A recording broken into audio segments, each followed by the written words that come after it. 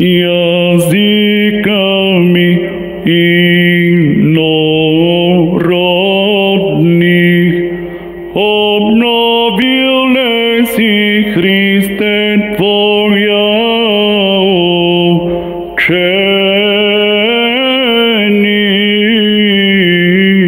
ученики. Дате ми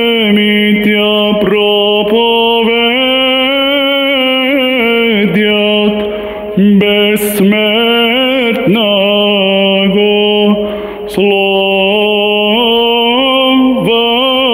и Бога, подаешь на душам нашим великим.